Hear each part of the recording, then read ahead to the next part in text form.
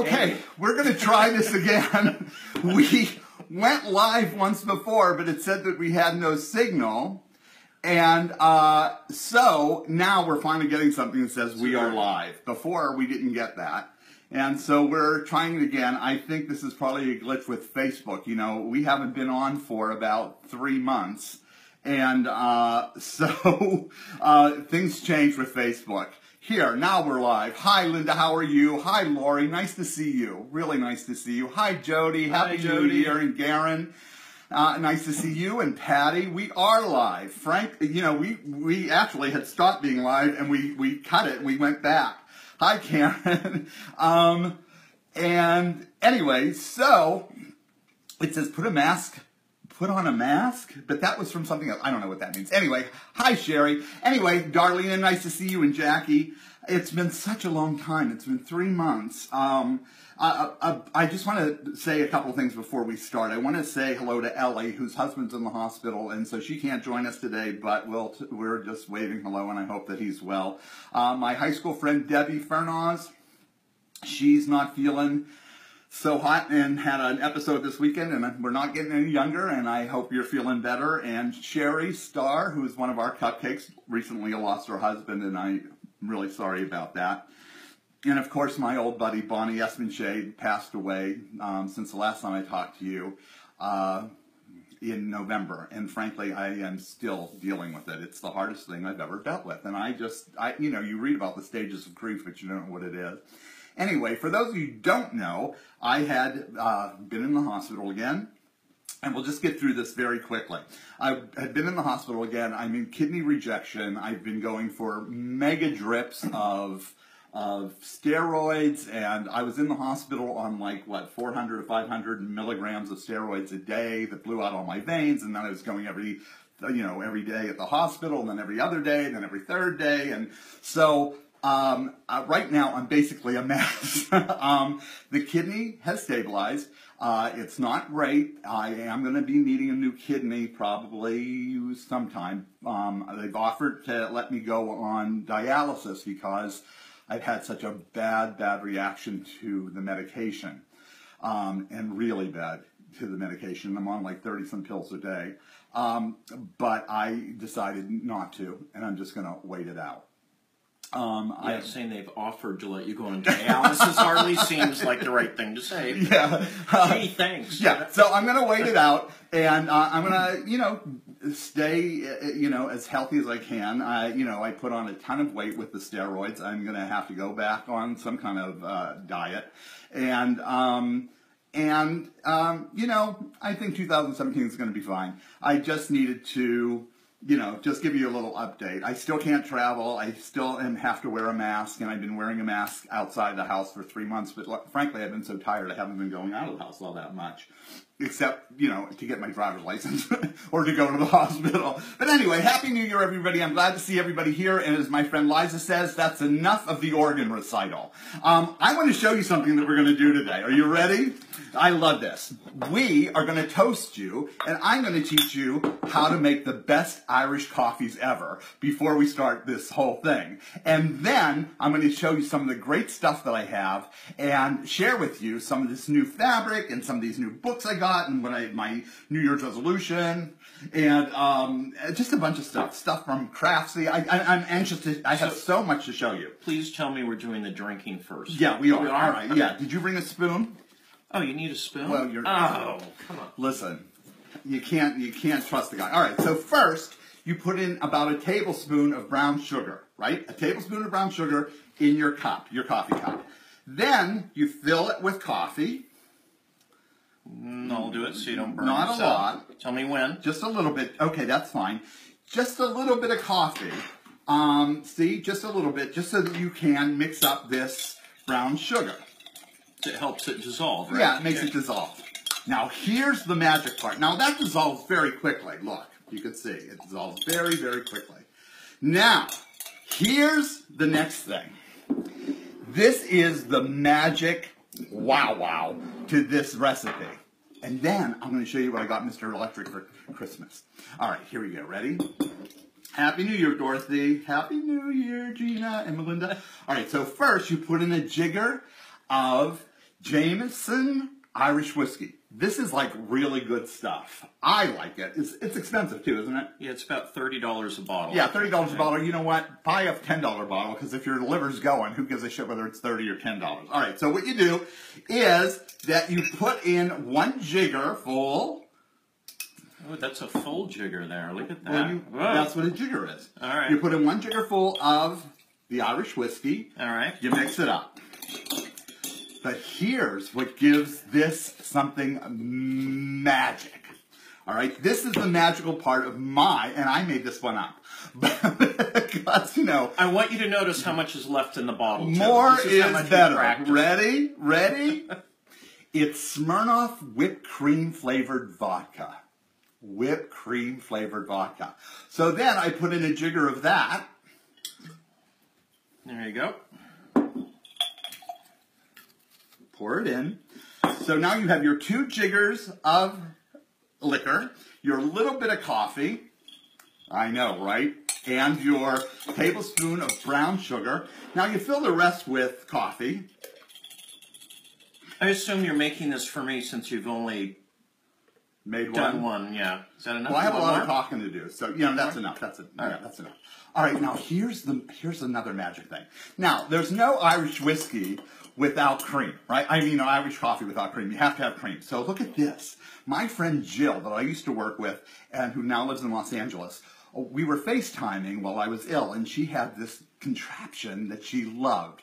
And so I bought one from Mr. Electric, very inexpensive, for Christmas. But you just get some, you can do this with regular milk. I have cream today, right? I have some cream, look at that, into a glass. And it's this thing. I got it on Amazon through a, uh, and it's pretty amazing. It's a little whisk, and it's battery operated. Now watch this.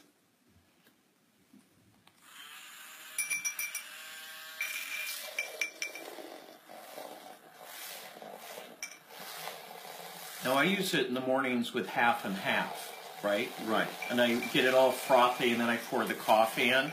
It sounds it's, like the battery's going. Well, it's just, it's not getting any air when you go down. The battery's definitely going. All right, well, we'll get new ones in. Well, now it's not going to froth up. It's it's totally doing it. It's totally not doing it. He is. It's not doing it. You can hear that the battery's not working. Do you want me to go get the batteries? Yeah. It looks like thick to me. It's it's whipping it, but it's not making it frothy. Anyway, look. So here's what we have so far. Look, we have the dogs barking, but look, it whips like that. Isn't that amazing? And it will do that with, um, yeah, see, listen, you can hear those batteries. I don't know what he's thinking.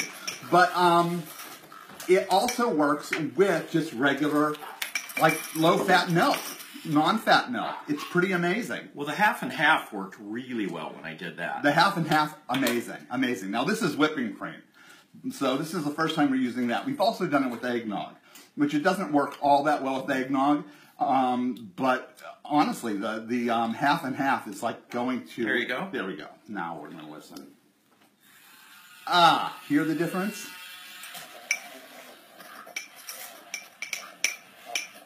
Okay. Well, what it is is it's switched. All right. Now, there you here's go. the spoon. Okay, here's the spoon. Now, hold up the cup because they can't see. Ready? Look at this.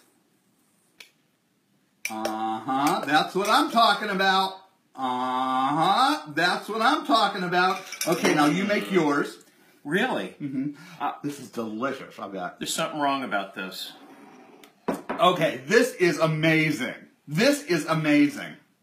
So, you know, it's uh, it's a jigger of Irish whiskey, a jigger of whipped cream vodka, which makes it taste like a dessert. I mean, it's amazing. With coffee, one tablespoon of brown sugar, sugar. and yep. whipped cream or whipped half and half with this little thing and um, with this little tool, whipping tool. And what I'm going to do is I'm going to show you um, on my blog this week, probably tomorrow, uh, when I post it, where you can buy one of those things. It's amazing. You're going to have to have one. Wait till you see what it's like with um, just with half and half. You won't believe it. You won't believe it. I mean, it, with half and half, that whole thing, rather than whipping like a whipping cream, it would have just frothed up to the top. It's it's amazing. Anyway, you have, uh, you know, of course, it's the first day of the year, Um, do you have any um, New Year's resolutions? Yeah, that I'm shifting the copper pot responsibilities over to you.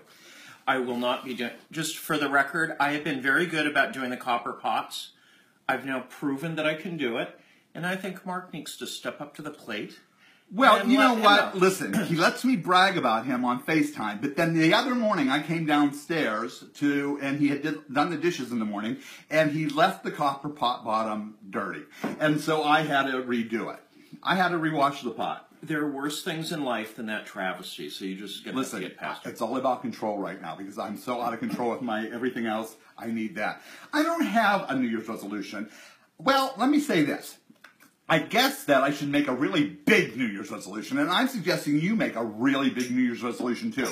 But I know that I can't keep it for more than a week, so I might as well go for broke and tell you I'm going to change the world and cure cancer.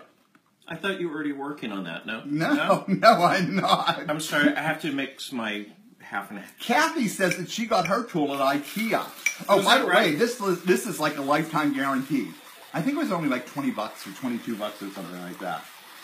But it's like a lifetime guarantee. I- The, the people will keep taking it back. It's just pretty amazing. Well, pretty uh, amazing. if you keep the batteries going, Mm-hmm. I thought the batteries were working fine, but I guess for whipping this, they didn't Right. do it right. Now, look at this coffin neck. It's got to go. So this was my last day for whipped cream. Well, anyway, they're saying that that this New Year's, it's not about losing weight in spite of the coffin neck. It's about treating people better. And so the majority of people, for the first time since what did I since uh, 2014, diet and weight loss was not the number one New Year's resolution. But treating people better and treating yourself better is the New Year's resolution. Would, wouldn't losing weight be part of treating yourself better, though? It's about treating other people better. We're talking Oh, more right. abstractly. Okay, go ahead. All right. So explain anyway. that word to me later on. Yeah, I will. Um, anyway, so the other top resolutions are spending less and saving more. Well, we're broke, so we couldn't save any. We, we couldn't spend any We less. save every day. But here's the good news. Here's the good news. If you were poor when you started out in your adulthood, like Jeff slept on the floor in his Brooklyn apartment, I literally lived in a slum for three years with uh, borrowed furniture and a small black and white TV that I bought secondhand at a junk store for years. Um, that actually not having the money has been not only humbling, but it's been really an it's you can do it. You can save money. You don't need all this stuff. It would be nice, you know, when big ticket items go, like refrigerators or stoves, Yeah. or you know, your shutter falls off the house. Your car. My car, right. It would be nice to have extra money for that. But in terms of day to day living, you really can do with much less. So that was a good lesson to learn this year. The other good lesson was that people are kind. And I hope that I could be kind this year, or more kind. And I think, um, yeah, I want to get rid of my coffin neck, but I really wish I were a little more kind. Um, and I want to tell you again, I want to thank you for the GoFundMe page that Meg and um, Liza Lucy started last year. We could not have gotten through the year without it. We couldn't have. And and I want to thank you. I mean, you know, as a quilter, you don't make a whole lot of money anyway. But it was it, it saved us. You saved our family, and I, I want to thank you again. Now, the thing that they're saying now, in terms of which I read in the paper this morning, interestingly enough, was that to be um, more present for people is about being more authentic. And I'm thinking, well, you know, that's such an Oprah Dopra word. You know, what the hell is authentic? But there are, I did find it, so I looked it up, and there are some things about uh, habits of people who are authentic. And so, um, so Oprah says, speaking of authentic, she said that she had no idea that being her authentic self could make he, make her as rich as she'd become. Well, that's a little bloated as far as I'm concerned. And I Speaking must of really be holding back. I know.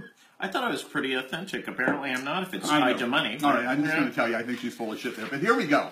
Here's how to be authentic. Are you ready? They help others to be their authentic self.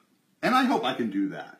I, I don't hold back, and I don't like when people hold back with me. And you know what? I see that in the quilt world an awful lot, that people you know, when you have your own business, you have to be, you know, you have to play a game. That's one thing. I get it. Um, the other thing is, um, you know, there's this good girl, good boy thing. if it goes against who you are, it's and it's an act, and you're not happy, then stop it. But being authentic doesn't mean you're mean. It just means you're being transparent. No, but It's yeah, different. right. I mean, I totally right. It doesn't mean you're being an ass, but it does Right. mean that you don't put on an act.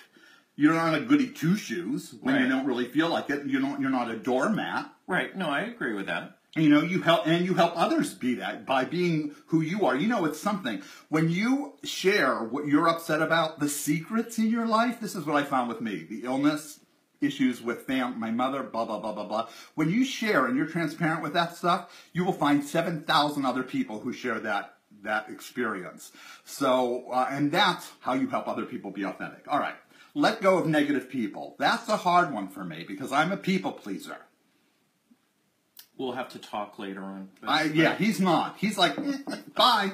I would I I I you know, you could beat me and I'm like, come back, come back. Well, we talked about this before. I, I'm kind of a believer. You just go, that's it, and you move on to the next thing. Because if it's draining you, it's just not worth it. No, it's not good. But um here's what I have done. Are you ready? I love this little book. I want to share my secret book with you. Although it's no secret, if you have a drug addict, an alcoholic, a loveaholic, a foodaholic, any aholic in your family, you've probably seen this book. It's called Courage to Change. It's a day to day book. Every day has a new reading and a new meditation. And I don't really, you know, I read it. I don't really meditate on it. But, um, and, you know, it's for like, I guess this is for alcoholism, maybe. But yeah, it is, definitely. They talk about the drinker or whatever. But put it towards your own life. This book is amazing for setting boundaries and not being so codependent. So I like this. And realizing setting boundaries is not a bad thing. Right, right. And It's so if you're having a problem with work, you're having a problem with people, it really helps me navigate people in the world. And it's really, I think this book has really um, kind of filed the rough edges sometimes. And it's really gotten me through times when I, like, you know, when you're worrying about your kid and they're not, like, responding or they're not answering your phone calls or they're being a big ass because you can't tell a kid anything and you've got to staple your tongue to the roof of your mouth because anytime you say anything to them, it's like, ah, you, you're a dumb idiot and they know everything and then they fall on their face and then they still, you know, Right. you know, or I'm hanging up now, or I'm not going to talk to you, or don't tell me what to do. This book saves me, and it happens. And, and so that's my thing. So that's about letting go of negative people, and I've been able to do that with this book. I don't know whether they sell it on Amazon. I don't know whether they sell it, you know, where they sell it. I know you can buy a copy at like Al-Anon meetings or. Well, it has an ISBN number, so that means it's Okay. registered Yeah, somewhere. and it says it's under uh, recovery self help. It's it's part of the Al-Anon group. It's the Al-Anon, so it's good. You know, I always, you know, I went to Al-Anon. I, I, well, talk about transparency. I went to Al-Anon when my son moved out because he moved out. He was angry with me. He wasn't talking. He was doing his own thing. He was making choices that I didn't agree with, and I was having a nervous breakdown. I was losing it. I was losing it. I couldn't sleep. I would wake up first thing in the morning. I, I've talked about this pretty openly. Um, to check who got killed in Brooklyn the night before and all that kind of stuff. And then finally, I thought I need to go someplace, and I, I went to Al-Anon, and uh, it worked. And um, I think everybody should be in Al-Anon now. Now, now, by the way, just for the record, he does not have a drug problem. He does not have a drinking problem. He does not have an eating problem. He has none of the aholic problems, nor do I, except I am a codependent aholic, I guess, and I couldn't let go. And this was good. It was good. It gave me boundaries, and it helped me let go. So, courage to change. I only went for a couple of months. You only need to get what you need and share what you want to share, and then you can take off. I mean, I think there are people who are in, you know, who needed it much more than I did or much longer than I did. I didn't. Things resolved themselves. Um, okay, so another thing to be authentic is you, you express your true feelings and opinions even when they're not popular. And that's how I keep losing friends on Facebook because I write what I think. And if you like it, that's great. And if you don't like it, I can't help it. I'm not responsible for it. What? Well, well, the flip side of it is, is they have to allow that of the other person too. It can't just be a one-way kind of thing. I mean, sometimes you just have to agree to disagree. That's what makes things interesting. You know? Yeah, I, I get how- it. this how well, you know, they, this whole Trump thing has made me nuts, and it's made a lot of people nuts, and people are just blocking people and, and defriending, unfriending them and all that Yeah. kind of stuff, or why are you talking about it? My page is a safe place to talk about it. And I have friends who voted for Trump. I, there are some things for Trump that I like. I didn't really like everything Hillary said. I didn't even like Hillary at all, frankly, but I voted for her. I've been very open about that. But you know, I think it's a place to talk if you want to talk. All right, so that's that. So I know when I'm not popular when I lose 10 friends a day. and you know what? Those are 10 friends I didn't need anyway. So get the hell out. All right, so that's that. Could mean you're doing something right. That's right. Okay, they are confident. Now, I'm not confident Well, I know you, and I know that I'm a big you're kind of shy and whatever. People don't believe that, but it's true. Yeah, and I'm not confident. I'm not confident, and especially when you have this hanging. Mm-mm, girl, daddy's got to go, and the ass is bigger than the chin. Just means you have extra confidence. That's all that means. Just, I just need a little confidence to see whether I'm going to fit through a door. That's what's ha- that's what I'm confident about. Someday we'll be doing this from the outside, like I'll have to, you know, a remote location. a remote location, right? Okay. Uh, authentic people also prefer deep conversations to meaningless chatter, like this. totally meaningless chatter. I do like deep conversations, and I think most of uh, I, I okay. This is a stretch that I'm going out on a limb here. I happen to think. Oh boy. Oh well. Here we go. Ready? Oh God. I'm glad there's two shots in here. I happen to think, generalization, that most quilters, makers, crafters are authentic in that way. I think they prefer deep conversations to meaningless chatter. I do. I think that, and I'll tell you why I think that. I also think, in terms of quilters and makers and knitters and and rug hookers and you know crocheters and you just name the gamut artists whatever maybe not artists but you know fine artists but even fine artists i don't eh, me you i don't think you're the most popular kid in school i don't i think I that wasn't. I was well that makes sense but some people might be surprised Uh, but uh, But you know, I think that we, in general, were not like the ones who were the popular kids, and so. Um, and by the way, even if it looked like we were the popular kids, because I think it probably looked in high school that I might have been a popular kid, but if you don't feel it inside, then it's worthless. It means nothing. So, um, I- so I do think that as makers, we are more serious and we're more thoughtful, and we get inspired by those deep conversations and by questioning what is the world, what is life, what are we here for, how do the every how does everything interact, and that's what makes us artists. Whether we're working in fabric or whether we're working in pastel or we're working in you know natural clay dyeing or whatever. So, But if I- you've always been on the outside, I think you have to develop that inner sensibility. Mm-hmm. And at some point, you kind of crave that connection with other people. And I think the other thing that works against us is most of society is set up for short quips. Yeah. You know, it's not meant for that long term stuff. We're busy. Yeah. And I, I, it was it Eileen, it went quickly, who said that we also are, we have an eye for detail and we like detail. Right. Uh, Suzanne says we're kind. Well, I've been to enough quilt guilds to know that that's not true. Who's kind? Uh, just uh, creative people. Mm-mm. No, I don't think that's true at all. I don't think kindness is the in there. poor ones are. I think once they've made some money, they're not so No, much. that's not true. That's not true. Um, I, but I think that yeah, I don't think kindness comes with that. Um, but I do think that being creative comes with deep meaning. Um, okay, they don't take anyone's advice without evaluating it carefully. Well, that's true of creative people. They always ask why. Yeah, They want to know. They want answers. I get it. yeah. There's I, a thought process there that I think's a lot deeper. Oh, Lori's asking if my eyes are different colors. Are my eyes different colors? No, You think? they look the same. Well, you know, me. I, I can't see out of this eye anymore since I got sick in October. You you know that, right? So I can't see anything much. Um, this eye I can still see. So and it's not cataracts. You're So also closer to the light on that side. yeah, That so may maybe that's showing the eye. All right, this is the other thing. They don't complain about their problems. All right, now here's Oh, the thing. Oh, come on! No, I, I think authentic Uh, people don't, and I think that's something I'd like to change this this uh, year. I hate being the whiner. I feel like I'm always saying I'm sick, I'm tired, I'm tired, I'm sick.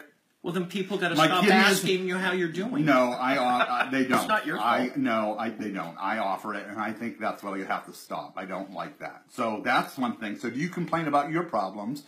Do you? Because if you do, they're not interested. And here's the nobody's interested. And guess what? I know nobody's interested, but I don't. I can't see anybody. So you're my only friend. So that's why I dump on you. But I have to tell you, I need to stop complaining. So, do you that's think that's if my New Year's resolution. So do you think if somebody asks you how you're doing, that they don't really want to know how you're doing? Is I- that is that what it is? Or I, well, no, I think if somebody asks, then they ask. But you know, sometimes I just post, "Boy, I'm having a really shitty day, and this really sucks." And I have like my my chin is hanging over my belly button. That's a problem. So I complain too much, and uh, I um, that's what I want to stop. so does Sarah. So she's going to work on that. yeah, Sarah is. what- It's we know. Sarah. Sarah is a big complainer, right?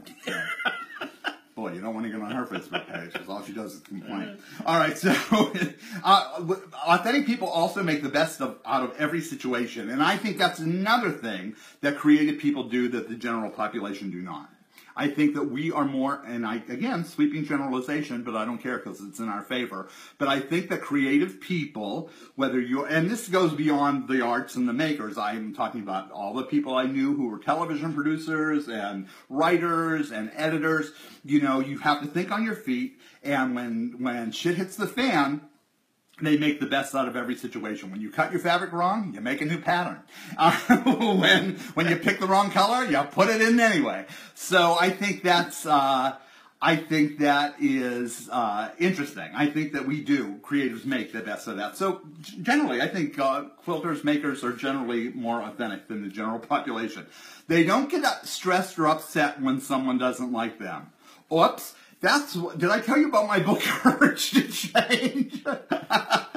I get very upset. Now I might, you know, when I t- and I think this happens to all of us, right? You'll type something and somebody will take offense with it, whether it's a joke or not, and then you're like, oh my god, did I insult them? Or are they upset? Whatever.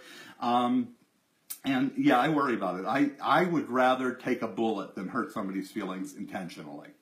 I would agree. For But you it- or for me? For you. Oh boy, I need another drink. So anyway, yeah. so Melissa says she's very positive. She's positive. She's not. Well, at least she has a good attitude about it.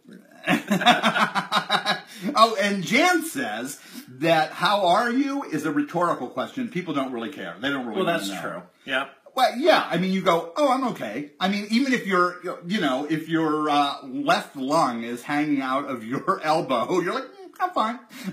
okay, so so that's that. Uh, hi, Sherry Colley. I didn't see you here. Hi, Sherry. Sherry's our old neighbor and one of my BFFs, and I love her, and I don't see her enough. And she's, She's a an wonderful old person. neighbor or an old neighbor? She's an old neighbor who's actually older than me. So I'm gonna, I'm Oh. gonna listen. We'll I, be hearing from her later. I'm still in my fifties. I'm just telling you. Um, Sherry, I wouldn't guess you were a day over 35. So just remember I I'm said still that. in okay? my fifties. I'm still in my fifties. So Laura says that she actually lost some good friends because of the election, and it really bothers her. Where Margaret says your attitude is a choice, and I believe that, but sometimes you just feel creepy. Um, you know, we talk about thin skin. Um, how are oh so somebody's thinking it's social noise. Um, being sick, being sick adds to the whining. It does, but I you know that's not a, a, thing. Um, Sally says she cares if a person has been sick, but Sally, your your um a your emotional IQ because I know you is probably through the roof. I'm not sure you couldn't use a little bit of courage to change. I love you. You know I love you like a sister, but you know, your emotional IQ, you're so sensitive and empathetic. And you've also been through a lot. So you, through your own experience, you know, with health in your family, et cetera, I think that that's an issue. Um, okay, so Karen says if you ask, hi, Karen Esmajay, that's Bonnie's daughter. If you ask a German how they're doing, they will tell you in detail. Is that true? I grew up with a lot of Germans around me, and I don't ever remember that. That's really funny. I don't know. I, I got. I don't know. The Pol- uh, you know, the Italians. If you ask how they're doing, they're always in crisis, and the Polish are cold. They don't really say much. They, they don't. They kind of deny it. All right. Um, Yeah, Sherry, I do think that being authentic is means that you're true to yourself, and I think that's what this is. Yeah. I think you know not making others happy with you. I think that's what this is all about, really. Laura, I'm with you. I'm much too sensitive. My son is also look at him sideways, completely sensitive, and we both clash because of that. I think. Right. I mean, he'll say something, I'll say something, and we're both like uh, crying. So um, it, it's not good. oh, Karen, not American Germans, from Germany Germans. Oh, good. Well, then we'll know we won't be visiting Berlin anytime soon. Um, uh, so Sherry says she also wants to know how people are doing. Um, Well, it depends on who the person is. If it's somebody I care about, then I genuinely want to know. Yeah. If it's somebody I meet at a store, I don't really care. yeah, yeah. And I usually don't ask that question then. Oh, so Becky says that when they lived in Korea, they always asked uh, if you were hungry. And that means, are you okay? I'd be triple my size in Korea. I guess we're not going to Seoul either. anyway, uh, how is my bear, Mark? How is your bear? Oh, my bear, uh, Ronnie. It's fine. She's in my um my Hello Kitty bear that Ronnie made and sent me. Is in um It sits on the bed. it sits on the bed. Yeah, it's there. I'm with that bear all the time. I love that bear. I love that. As a matter of fact, I you know, there's nothing I want to tell you. Speaking of pathetic, and that's that. I mean, there, that's it. If you want to see this, I, I don't remember who did this. This is from Dr. Travis Bradberry. Um, so look up Dr. Travis Bradberry. He's the one who wrote the 10 mistakable, unmistakable habits of utterly authentic people. There's a bunch of them here. Um, I, I just want to say that everything and anything and anyone has ever made for me and has sent me as a gift, as a get well gift, as a birthday gift, as you know, even if they make homemade postcards to send me, they're framed or they're They're somewhere shown. Yeah, they're out. I, I don't, you know, I don't um, ever put anything away. I mean, for like that. Those things are so meaningful to me. Uh, as a matter of fact, Tricia Maloney, who is the author, you might know her, and the designer, who actually took a class of mine in Meadville many years ago, Meadville, Pennsylvania. Um, and this is like her third book, I think, that she has coming out now. But she sent me this over the Christmas holiday. I, I just love it, and I know where it's going. I love this. It's a very simple quilt. And um, it, it actually, she made it in 2014. Here's her little hanging, her little label, right?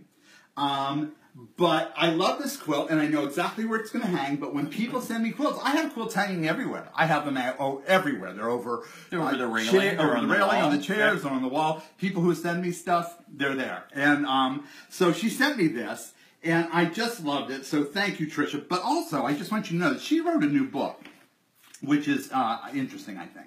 She wrote this book, and it's actually for beginners too. It's called "I Love Pre-Cut Quilts." It's by um, it is it's also available in ebook, but it's uh, by C&T Publishing, and there are 16 different uh, quilts in here that you could use, and it's all using pre-cuts. Now, some of these quilts are really very sweet. I love a lot of these quilts that she did, but again, they're very beginner, very modern looking quilts. But again, they're also all done with pre-cuts. So you might want to pick up this book. I think she did a really nice job with it, and um, and they're really easy and fun to do. Now, as you know, and I don't want to be a big hypocrite, not on the first day of the year, because Marianne Fawn says whatever you do on the first day of the year is what you do for the rest of the year. So we'll be drinking the rest I, of the I year. know. Okay. I'm going to be whipping up some whipped cream. I'm going to. But here's what. Here's the thing. Um, I hate pre-cuts. I'm not a fan of pre-cuts. It's just not my thing. So, um, but having said that, I love the idea of the quickness of pre-cuts. What I don't like about pre-cuts and pre-cut, you know, like you go, like for instance, you'll buy Tricia's book because there's some great quilts in here. But what'll happen is that you, eh, you'll buy a pre-cut, you'll buy a pre-cut, you'll buy a pre-cut, you'll buy the same pre-cut, and then all the quilts look alike, basically what I like about the pre-cuts is that they're so easy to manipulate, they're so easy to use. But what I like to do is make my own pre-cuts from the fabric that I choose. So if a, a quilt calls for, you know, a layer cake pre-cuts, then I'll buy enough fabric to make my own layer cakes out of the fabrics that I choose, not out of some manufacturer's hand-picked um, group. Inventory that right, their inventory, right. So, um, so, and that's what makes an interesting quilt. We know that if we use all the same line, that it's not interesting. Even when we were designing fabric, I hated using all of my, having to use all of my fabric in a line because it's just boring. Um, and so I, I'm telling you, when you pick up Tricia's book, um, what you want to do is make your own two inch, two and a half inch strips out of your stash or out of your, or go to this, your local quilt shop or whatever and buy that kind of stuff. I, and you're gonna get, um, I think you're gonna end up being much happier with the quilts that you make. That's what I think. Um, so, uh, I, I, I like this book a lot, and I love her. Look how cute she is. She's adorable. Do you know Tricia? Yeah. Do you know her? She's adorable, and she's written, as I said, she's written several uh, uh, quilts. Now, if you used to listen to Creative Mojo, she wrote the book on uh, the Russian journey, a Russian journey in quilts. Remember, with I think that was with Kansas City Star Books. This one's with C&T, but it was a fascinating book and a fascinating story. So you might want to pick that up while you're picking up this too. Um, and I'll put that all on my website. But really consider um, choosing your own fabrics and, and making your own pre-cuts when you buy pre-cut books. And I hope she sells a sh- ton of these. Um, and I love you, Tricia, and thank you. And this uses jelly rolls, charm squares, layer cakes, fat quarters, and more. And make your own. Make your own. Make it an interesting quilt. Own it. Own it. Whoops, sorry. This is earthquake. AccuQuilt does AccuQuilt Go does have two inch dot, strip die, and I also have an uh, like a big like a professional one, and I have the two inch strips or two and a half inch strips as well. So um, now Sarah says that using the same line is the only way she can match. That's crazy, Sarah. You know, the only way that you learn is by doing. Now, you know, I couldn't choose fabric at all. I have a really bad eye, or had a really bad eye for color. Jeff, who, by the way, is colorblind, has a really good eye for it. But one of my tricks was that I went to my local quilt shop years ago, before I had the magazine even, and once I started quilting seriously, I went to um, to the local quilt shop and ask if I could volunteer and work there, just to see to help, just to see how a quilt shop worked and how people match fabrics and what people wanted and what they were interested in, and that's where I learned how to match fabric. And then I started working there, like what, maybe two days a week, Yep. and then I went to another quilt shop and worked maybe one or two days a week for a little while, and um, and it was illuminating and I learned how to choose my fabric. So see if you can do that. The quilt shop can use some help, always can use some help, and um, provided you're not crazy and or you're not going to rob them, and um, and you really learn so much about what people want, what they what's in, what's not, how to mix fabrics, how to blend. It's really a fascinating, really a, a fascinating, fascinating. Um, uh, experience. Oh, so Connie says the KC Star books were bought out by C&T Publishing. That's interesting. Huh. Yeah, you know, it's all coming down. Hi, John Strauss from Alabama, soon to be from Florida, right? Hi, are you in Florida yet? Nice to see you. Happy, um, happy New Year to you. Another book that I got, which I loved, and these, you know why I love it? Because you know I went to a Catholic school, and for me that meant I can't do mathematics. It didn't matter. I had great math teachers. I don't get it. There's something in this part of the brain. It does not work for me. It does not work for me at all. So what happened was that um, uh, I it didn't matter. My mother would iron clothes, and I get those flashcards. Ten times three, four times eight, seven times eight. Eight times seven, I couldn't do it. I just can't. I can't play the piano. I can't learn a uh, foreign language, and I better learn Russian soon. And I can't. Um, sorry, there goes ten more. And I can't. Um, I can't.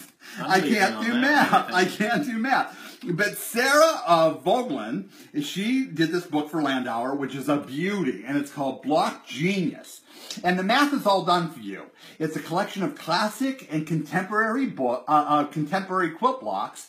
It's like a go-to reference for quilters of all abilities, and you get to discover some new blocks and mix and match and and have them to create your next, you know, your next quilt. So it's like this. You know, another resource that I love, and I don't know the website name, and I'll put it on. But this is a great book, don't you think? And it tells you, it gives you all the different sizes. It tells you what you need. It shows you different layouts, and of course you can change them.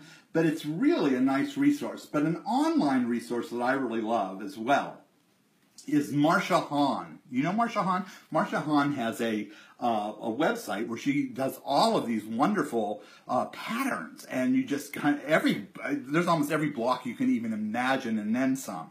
And I'll get that website for you. It's astounding. Now it's been around for a long, long time. Oh, she said, oh, it's upside down? It's well, actually backwards. It's actually backwards. I can't help it. Facebook changed uh, something from the last time, you know, we when we started this, and now everything is this reversed image. So um, it's just called Block Genius, but you'll see it on my blog, and it will be right side right, okay? Um, so don't worry. Oh, it's called Quilter's Cache. Quilter's Cache, Cash. I think it's Cash. See? Cash. Cash, yeah. Yep. Thanks, Helen Marie. Yeah, Quilter's Cache. Uh, and that's uh, Marcia Hohn. Go there and take a look. But also, this book is genius. I love it. It took a lot of hard work, and it's easy if you want to start designing your own quilts. I think that's a great idea. Don't you think?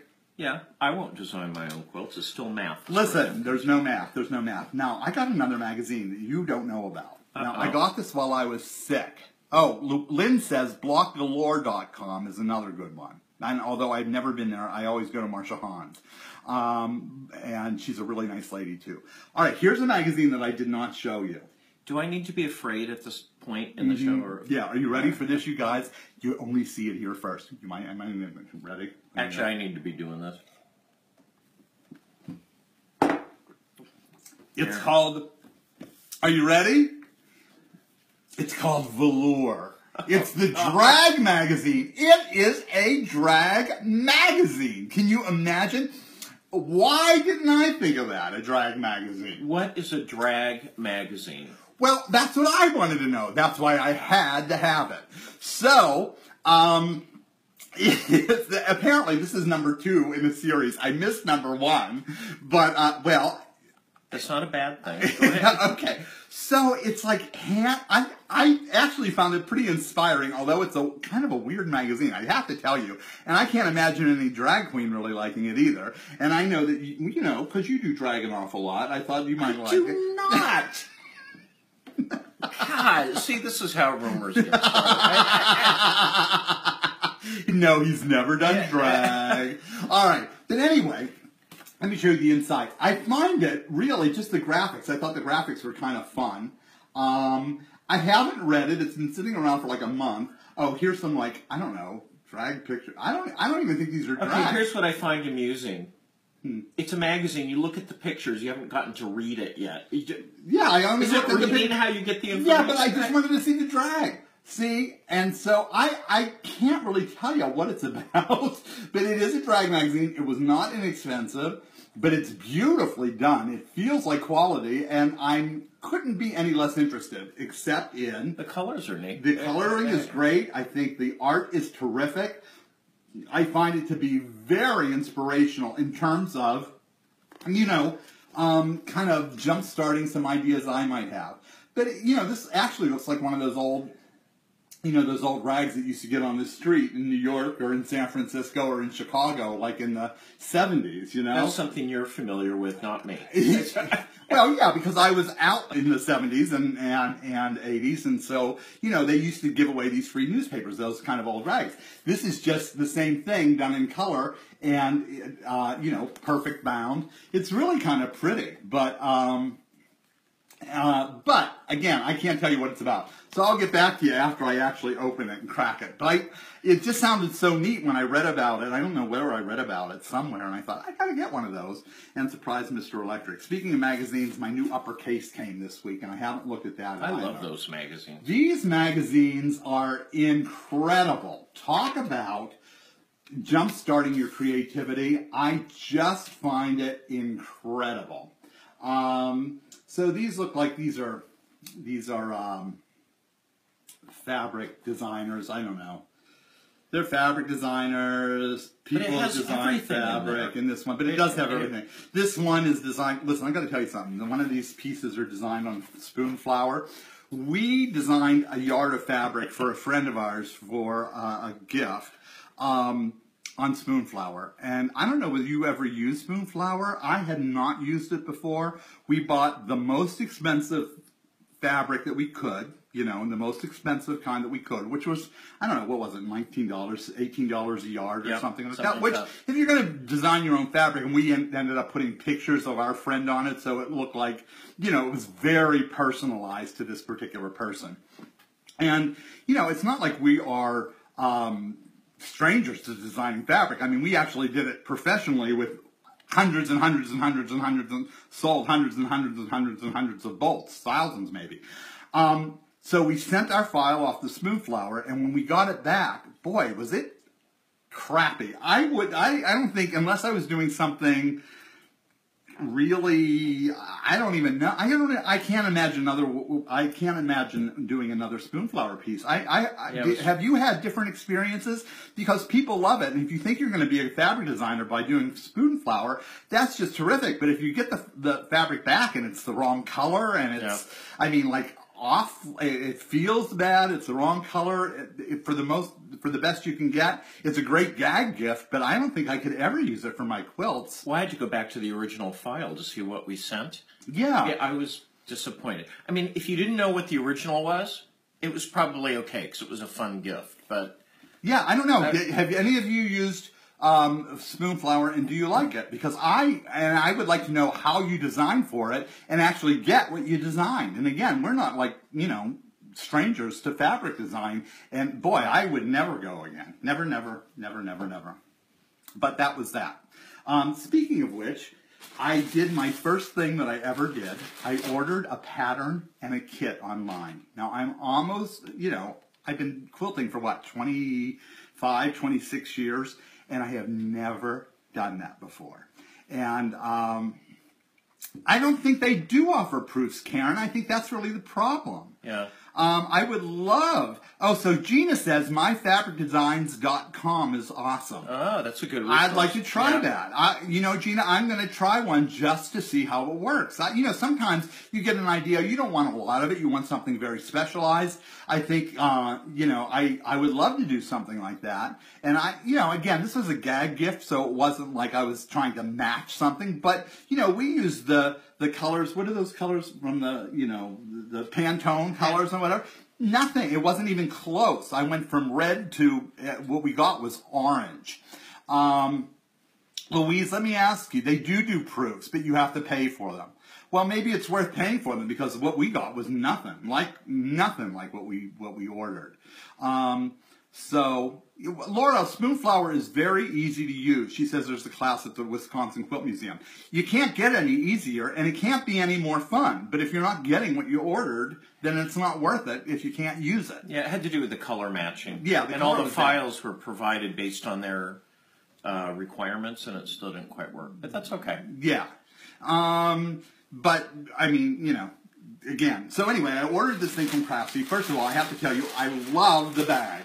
Look how they send it. I thought it was really fun. Now I I just thought it was a fun bag. It just looked like, ooh, party starting.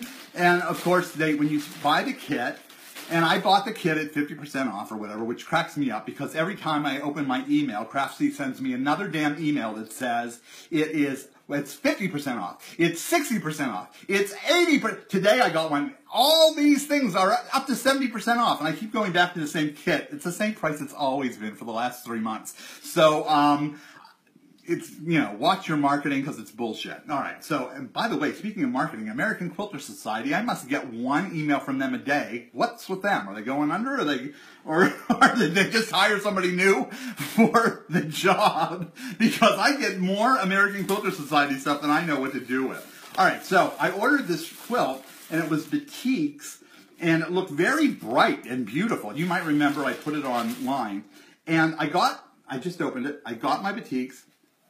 And actually, they look better. They look They look good. better in this light. They look good in this light. but I have to tell you something. I was very disappointed in them. I just thought they were so dull. Now, this was going to be a brightly colored quilt, and I'm not really seeing batiks that Well, they do look bright on the screen. they look It- very bright on the screen, but, in person also- they don't. But when you're looking at something online, Yeah. it's all backlit. That's why it looks so bright. Reality is you don't see things. Well, that's why know? you can't order fabric online. That's why you have to support your local quilt shop. Because if you don't, you end up getting stuff that looks muddy unless you go into your bedroom or into your living room or wherever you keep your quilts with your phone and look through that. that's the bottom line. That would work. Wouldn't be real convenient. No, but it would work. But I mean, again, when I'm looking at this online with you right now, I'm like, wow, this is really, this is, this is They're bright. pretty. But when I look at it in person, they're not good at all. I mean, they're very muddy. And, um, and uh, I, I'm not going to tell you the manufacturer. It's not important. But um, I, I'm just, this is more a, a um, it's more an, you know, it's more of an issue about ordering online. Well, and it's not a bait and switch either. No, I mean it's- it's actually what they It's actually, they had. it It's just absolutely look, is right. The That- vehicle that you're looking at. Right, it's absolutely right. And you know, each of our uh, monitors show a different color, which means that, you know, we would never agree on fabric, ever, ever, ever. So please make sure you, you know, okay, so you're spending another extra dollar. By the way, interestingly enough, because these are all fat quarters, most of them are fat quarters, um, what I found was interesting is uh, on Craftsy when they tell you how much, um, you know, how much fabric in this. I'm just talking about this one particular quilt. This is not a judgment on Craftsy. This has nothing to do with Craftsy actually, but it tells how many fat pieces of fabric or how many yards of fabric you get in this kit, right? So it was I can't remember what it was, like fifteen dollars or something, or fifteen yards or something, or fourteen yards. I can't remember. But then um, when you consider how much it costs at their fifty percent off sale, right? Um, and then you divide a fat quarter, which is about three bucks at a uh, quilt shop, and you put that in, you're really not saving really any money at all. No. it's just the overhead. So it's kind of for me, it was kind of like uh, saying, well, here, this um, uh, you know, this pack of of uh, energizers are fifty dollars, but I'm going to give them to you for eight dollars. and you go, what a savings! Well, they're eight dollars anyway, or maybe they're nine dollars. Still got to read. Anyway, so anyway, so that's that. And um, you know, the other here's the other thing that is interesting because I didn't read any of the reviews before I got it, but I'll be doing this quote and I'll I'll let you know. But um, the reviews were that, and I think this is true of most um, online people, mo- most online fabric stores, where you don't, uh, which is unlike your in-person fabric stores, and that is when they say you're getting a 20 by 22 piece of fabric to do this blog. That's exactly what you get, and God forbid you miscut by a quarter of an inch because you'll never get it back.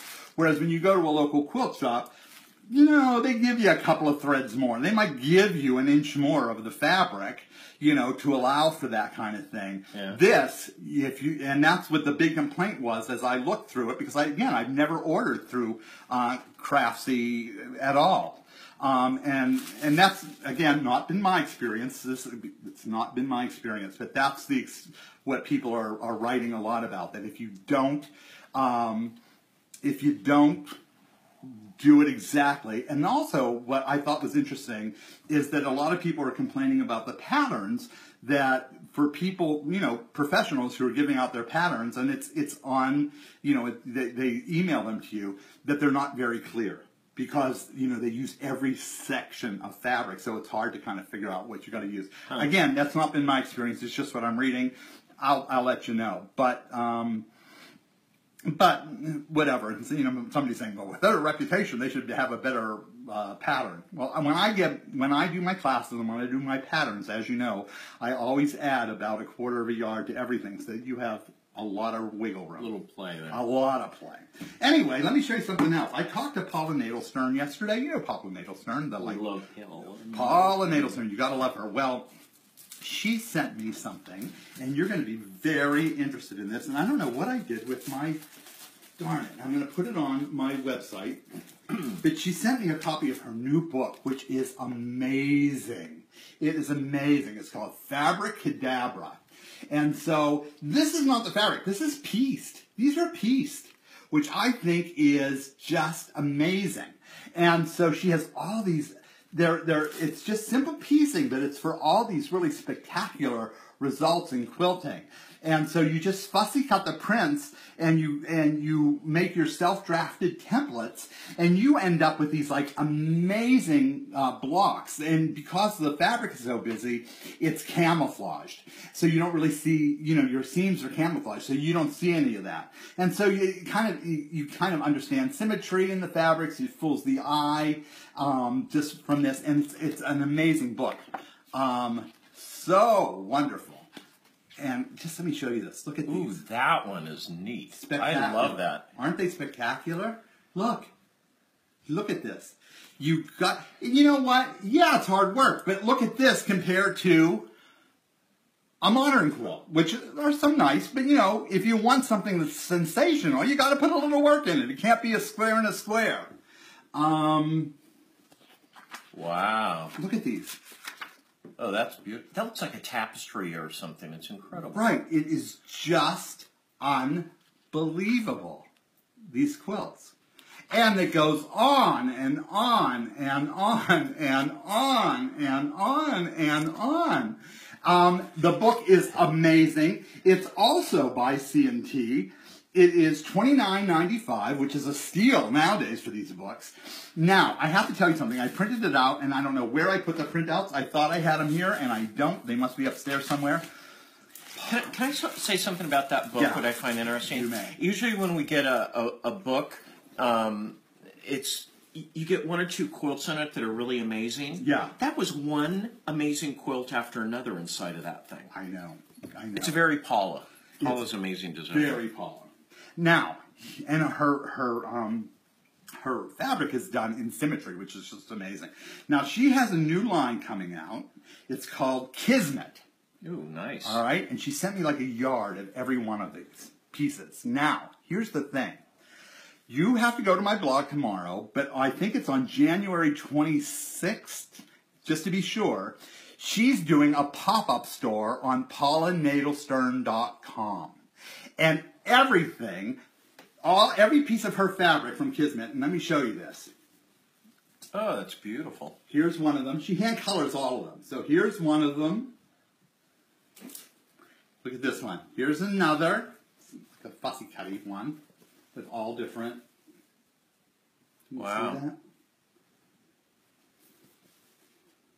Wow, those are amazing. Here's another one. Maybe you see this one. I love this one. It's so like I don't know. It's so Oh, wow. Look at oh, that's great. And great colors, too. right. Yep. And then there's this one. Now these are like more the blenders. You see?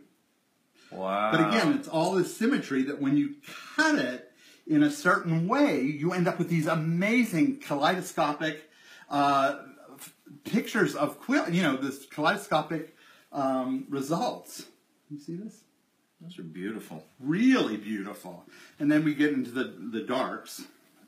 Sue Holmes wrote, Why cut it? I know, right? Why don't you just frame the damn stuff? I know. Look at this. It's so pretty. I wish you could get a really, really good look out of it. Um, yeah, but it's not just Hexies, Helen Marie. Um, it's it's all different kind of stuff. Look, Wow. Oh, I love this one for a blender. I mean, honestly, even if you're not going to do any Apollo's quotes, look at this fabric. It's just so pretty. Like if you're an art quilter that's like so underwater, Yep. it's like, you know, it's so drain the swamp. Whoops, there goes 10 more. Um, here's the black one. Look at the black one. Isn't that neat? And again, there's a symmetry in here that you uh, can cut, like uh, like Helen Marie said. Here's one, uh, the black one, but now this is in color. It looks like Wow, it looks like a different fabric. yeah, it's a it's the same fabric. Wow. It's just a different colorway. And then we have it here in the green. Now, this is what I'm going to tell you about Paula's pop-up store, which is amazing. Again, go, uh, at my blog, marklipinski.com, you'll get all this information and links right to paulanadelstern.com, and you can go there today to find out about it. But I believe it's on the 26th, and again, I printed out the, the information, and now I don't have it with me. But on the 26th, she's having a pop-up store where people who go there on the 26th for that week will be get the first shot at all this fabric. It's not even being released to the stores for another month or two.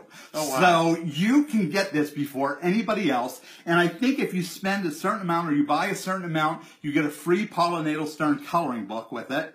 And, um, which is like all of these kind of things that you color. And, um, and there's a, there's a, oh, also her book, uh, the book that I showed you, um, this Fabracadabra, this one, is going to be discounted. So this book is um, $29.95. It's going to be discounted significantly. So you're going to want to go to that pop-up store. And when I say pop-up, it's only going to be open for like a week maybe. Huh. It's not she's, it's not part of her regular um, website.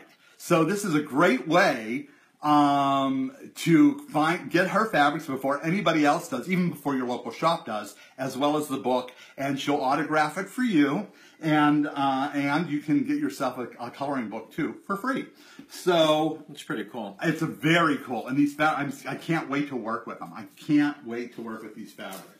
So that's that. Now you might know that a couple of months ago, well, before I got really, before I started rejection last year, um, I uh, ended up uh, taking a Indian printmaking class, and I showed that on Facebook, and I think I showed it on my blog at the time when I was still healthy enough to do it. Anyway, um, my teacher Shanti Jain well, that's her name. She's from Princeton, and she, I got a box from her, like right before Christmas, or I guess, or right after Thanksgiving, Thanksgiving about. Yep. out of the blue. Here's this box. Are you kidding me? She sent me. Look at this. Old saris that I could put into my quilts. Now, several years ago, I when Kaffe Fassett had you know was was coming out with new colors in his uh, shot cottons, I decided I was going to make like an Indian Catholic quilt. This is years ago now. So I kind of started putting just blocks together, and I never even finished it. You know, I was going to do this for McCall's Quilting Magazine and do a different kind of embroidery in, in each one of these, a different kind of big stitch or a different kind of embroidery quilting, and it just seemed so. It, it just was missing something to me. I like, I, you know, I love Kaffe Fassett um, uh, Fabrics. fabrics and and the shot cottons. I love them. But something was missing, and I'm thinking, oh my god, now I'm going to cut this thing apart and start adding pieces of this in for the big stitch. Yeah, those go really well together, actually. And I love this. Um, and then she sent me, but that wasn't it. She sent me other stuff. Look at this. Look. Isn't it beautiful? And it's, it's like, It's like a shawl. yeah, it's a shot cotton scarf for a, a sari. That's what it is. Huh. Yeah, so here's another sorry, which is much more plain, but I do love. Look at this. This is a great border, right? And that you can cut up. Then she sent me this, which is a wild fabric. I wish you could feel it. I don't even know what it is. It's like a heavily starched linen. I, I can't It has a figure out. gauzy look to Yeah, it. but real- it's heavily starched and it's real scratchy. Can you see it? Can you see how close what it is? You can I- see right through it. yeah, and it's really stiff. But look at all the neat. It's like, look, it's like hand painted and then embroidered. And I thought, wouldn't that be neat? That's amazing. So, I, you know, talk about inspiration. Why haven't I done anything like this? Why haven't you? Um, so it's not Batiste, Luann. It's it's it's like a gauze. It really is like a gauze. It almost looks like really refined cheesecloth. Yes, Yeah, like a very uh, like a tight cheesecloth is Yeah. what it's like. It's really, but they they have these kind of things all over the place, and it's just a chain stitch, just a chain stitch. But yeah, it's organza. Dale, that's exactly what it, Dale Organza. and Yeah. Dale and Dale. Well, I gotta call you Dale because I was thinking of our friend, you know, Dale, who's no longer with us. Um, and Dale from Canada, she says it is organza, and that's exactly what it is. Anyway, it's just beautiful. It's just beautiful. And then uh, there's one more that she sent me.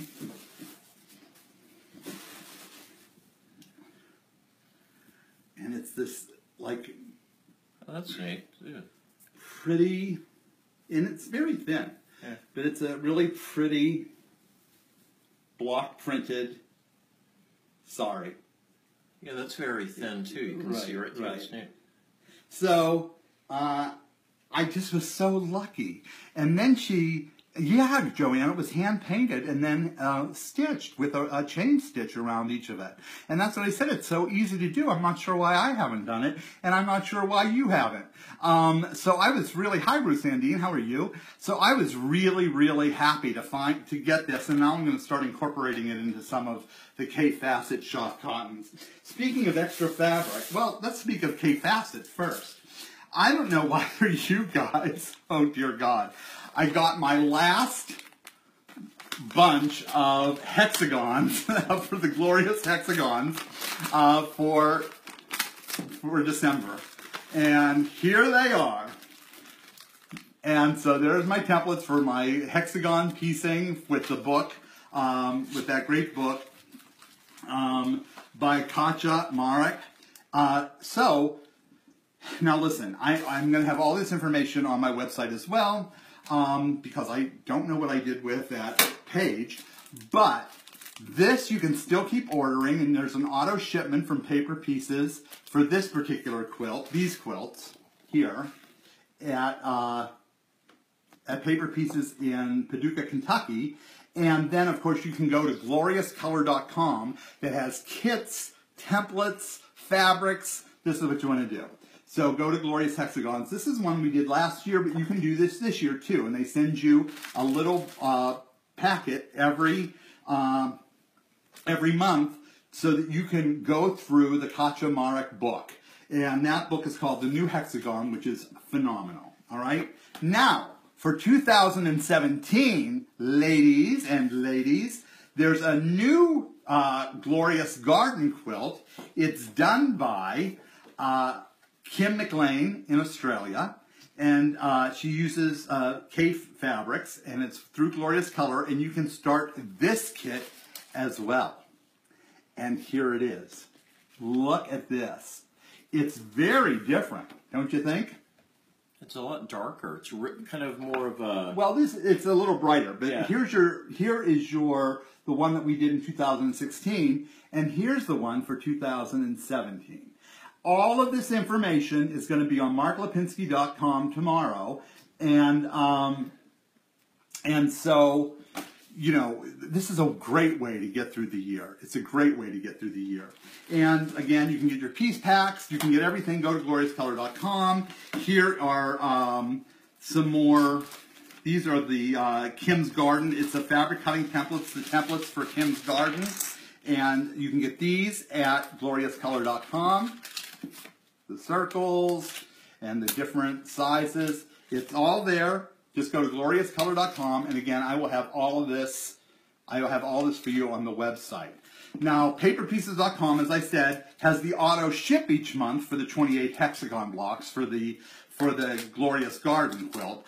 But this project starts up again in 2017, and gloriouscolor.com has all the fabric packs to get you started. And um, and both Paper Pieces and Glorious Color have the template sets to make this quilt. So uh, and it's only 28 blocks. So you want to you want to try this. I mean, God, this is just beautiful, isn't it? Isn't it beautiful? I love those hexies, and it's so fun to kind of just sit around and do that, right? I love that. Speaking of more fabric, and again, all on marklipinski.com. Has it been? It's been. I, have I been on for like an hour? I mean, how long have I been talking? I'm ready for another drink. I'm Let's ready for bed. Really. Just speaking of which, I have not seen any of these bags coming in the house. You know. Yeah, well, don't. Here we go. I bought felt. I bought felt. First of all, felt is so inexpensive. I was thrilled. But you might know in April, Mr. Electric's book uh, called Who broke the vase? Who Broke the Vase is going to be out in April. It's going to be released in April. And he's going to be on tour reading the book. And he's going to be, um, you know, there'll be a countdown. Uh, and so, um, before I got sick, I started working on a Who Broke the Vase quilt and Who Broke the Vase plushies and Who Broke the Vase uh, embroidery and a bunch of Who Broke the Vase stuff that will all be available released when the book is released in April. Um, so all those patterns will be released, and I think we're going to release them in one big swoop. I think you can probably buy them individually, but I think we're at first uh, you, Right, do it all know, you buy the book, you get the you get the other the swoop of them for half price or something like that. Something, but anyway, I ended up buying all these great fabrics, and now I've never made a plushie before, and so. Um, so that's that's what I'm going to do. And since again I can't see from this eye, uh, well, it's actually this eye. I keep going this eye because that's the eye I see. Uh, it's backwards. But since I can't see from this eye, um, you know, it's going to be very slow going. And because I also have a tremor now, and because I just there's some stuff you don't really want to know, but um, it's going to take some time. So what's kind of cool about it is what is that machine thing that we were going to do some of the cuts with? What's that thing called? We don't know. No. Uh, I can't remember. Oh, yeah, yeah. I thought about maybe, uh, maybe getting um, one of those. Um, you know, I do have one of those brother machines that I was gifted. You know, one of those uh, die cut machines, and I thought I might use that to do like ornaments and stuff that are pre-done and sent or pre-cut kits. So we'll see. I've never used. I haven't used it. I've had it for two years. I haven't used it. What a surprise. Well, because I, I've been sick for two years, so I just haven't used it. So anyway, um, uh, that's that. And uh, what I think I'm going to do is, as I do these, I think I might tape them and, and show them, so that way you you'll be able to like do them yourself, right? Okay. Yeah, it's kind of like a scan and cut. Is that it? It's from Brother. Yeah, I know it's from Brother. Is it called Scan and Cut? That's what it is. Again, I hear mixed reviews about it, but we'll we'll find out. You know something else I'm really interested in? You know the quilt show with Alex and Ricky had this woman on from Spain who was doing this applique. Now, I'm not an appliquer, but I have to ask if you saw this show because I was so amazed. It's called Appliquick, A-P-L-I-Q-U-I-C-K. And there are these tools and this foundation, uh, this fusible, water-soluble foundation paper or fabric and these tools to do very little tiny applique. Now, they look like two metal rods. One is has a little fork end, like a little tongue, like a little snake's tongue. And the other metal rod is like at an angle. It looks like like Alex Anderson's pressing. You know that, that how you press with that wooden thing that she has? It looks like that. It's kind of like angled on wood, and you press it, and that's what it is. It's called Appliquick. Now I I want these tools. I want these tools, even though I'm not really an applicator, but I want these tools. I was so impressed with it. The tools are like 40, those two little pieces of uh, sticks are like 40 bucks. Hmm. And I'm like, so before I shell out anything, I want to know, Karen, you saw it, right? Karen Evans, Innes saw it. She says it was amazing, and it is amazing. And by the way, I took a class, one of my very first cool classes were with Elly Sienkiewicz, who, all, who, as far as I'm concerned, is the queen of applique. And she has, for years, um, done very intricate small applique, and that's where I learned how to do applique. But this thing, I don't know whether it's just a gadget, I don't know whether you really need it, I don't know, but I, I want it. I want it. But I can't cease $40 for two pieces of wire. So I may end up, I, you know, what I was looking at today on Amazon, which is horrible, um, because I should be supporting my own quilting community if I have the money. And that is, um, I was looking at dental tools. You know, I'm thinking you need to start lo- using the tools that we have in the garage and maybe making your own stuff. You know, I'll get you a lathe. You Yeah. can start making your own tools. The only thing I'm going to do with a lathe. What's a lathe? That's how you make legs for tables and. Oh, one of those things you go. Yeah. Like oh, right. oh yeah. Like when we made the pens. Yeah, no, that's how I'll carve my watermelons for the summer. But I, there's no way I'm going to be doing anything else. That's that's it. So anyway, again, tomorrow, marklipinski.com and uh, on the blog, or Mark Lipinski's blog dot at dot wait Mark Lipinski's blog dot WordPress at dot com. Yeah, Mark Lipinski's blog dot WordPress dot com. And that's my blog address. Anyway it'll all be on the blog. You could always get there through marklipinski.com i haven't done the blog in three months or more either since i've been sick i hope to do that a little more i'm really my new year's resolution to be honest is i'm going to finish my um, my goal is before i get really too sick again and you know or end up on dialysis or get a new kidney is um, to finish my um, legacy. legacy quilt. I want to have that finished by June. That's my goal. And that includes all of uh, the embroidery and all of the story, and then I'll just write the memoir after that or continue. And I was very disappointed because when I got sick, I, I, was in a memoir class and I ended up having to quit because I couldn't go out. And um, and I and I missed it, but I did I did well and I would love to get into another writing group at some point once I once the mask comes off. So, folks, um, that's it. I think I've used up more energy right now than I have, and I think I'll sleep very well tonight.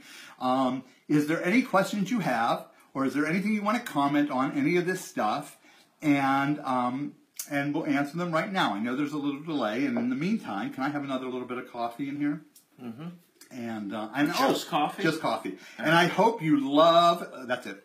I hope you love the Irish coffee uh, recipe. It is amazing. Don't forget, it's uh, a jigger, a jigger, a tablespoon of, brown sugar, and a little bit of whipped cream. And you can even use the canned whipped cream. Um, thanks, Kathy. Thanks. I'm glad I was here. Nalene, thank you. Happy New Year in Canada as well. Kathy, I am going to take a break. Ruth, thanks. It was good to see you. I'm glad you were here. Joan, I'm so glad that you were here today too. Irene, thank you for the the the support. And I'm going to stay as strong as I can. And I know you're pulling for me, and I know that the prayers work, and they have been. And let's just try to keep this kidney where it is. Judy, nice to see you. Thank you for coming. Um, and I am going to get some rest. Uh, Laura, it was great to see you too unless there's any questions, I think we're going to sign off. All right. We're going to try to do this again next week, um, and that depends on how well it goes. Uh, but it might be next Sunday again at 4 o'clock. All righty? Thanks, everybody. Have a good new year. Bye. See you at marklipinski.com. Bye-bye. Bye. How do I turn this on? You know, I can never figure out. Finish. Oh, finish. There we go.